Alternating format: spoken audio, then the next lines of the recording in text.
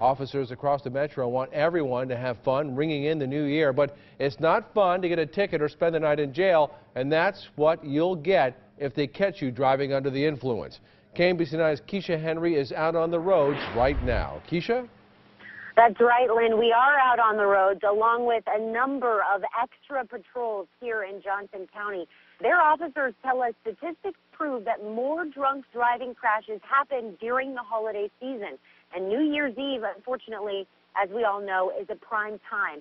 With several big celebrations happening all across the metro tonight, serving up alcohol so everyone can cheers to the New Year's, patrols are prepared to serve up some tickets and some jail time as well. There are extra patrols out from all different departments around the metro tonight. Overland Park has four officers focusing solely on people driving under the influence, and that's in addition to the other officers that they have out on the roads tonight.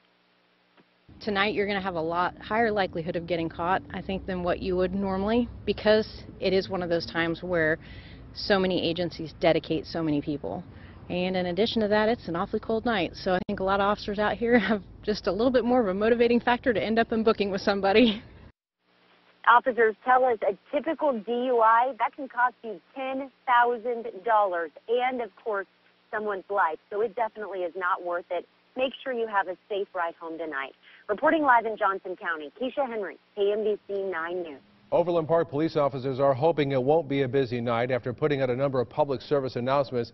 They say many drivers tend to make an extra effort to find a designated driver on big enforcement nights like tonight.